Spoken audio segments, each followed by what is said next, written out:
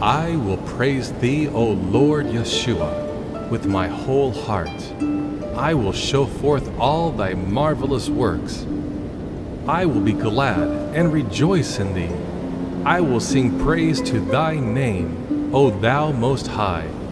When mine enemies are turned back, they shall fall and perish at thy presence. For thou hast maintained my right and my cause. Thou sittest in the throne judging right. Thou hast rebuked the Gentiles. Thou hast destroyed the wicked. Thou hast put out their name forever and ever. O thou enemy, destructions are come to a perpetual end, and thou hast destroyed cities. Their memorial is perished within them. But the Lord Yeshua shall endure forever. He hath prepared his throne for the judgment, and he shall judge the world in righteousness. He shall minister judgment to the people in uprightness. The Lord Yeshua also will be a refuge for the oppressed, a refuge in times of trouble. And they that know thy name will put their trust in thee. For thou, Lord Yeshua, hast not forsaken them that seek thee. Sing praises to the Lord Yeshua, which dwelleth in Zion. Declare among the people his doings.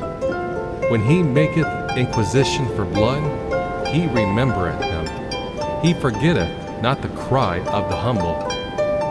Have mercy upon me, O Lord Yeshua. Consider my trouble which I suffer of them that hate me.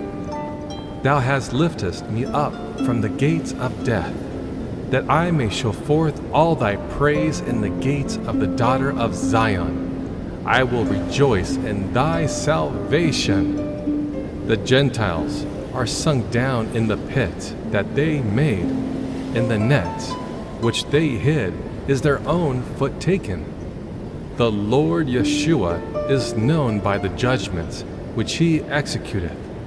The wicked is snared in the work of his own hands. Selah.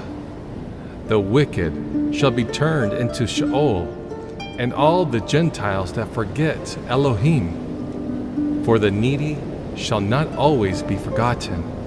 The expectation of the poor shall not perish forever. Arise, O Lord Yeshua, let not man prevail. Let the Gentiles be judged in thy sight. Put them in fear, O Lord Yeshua, that the Gentiles may know themselves to be but men. Selah.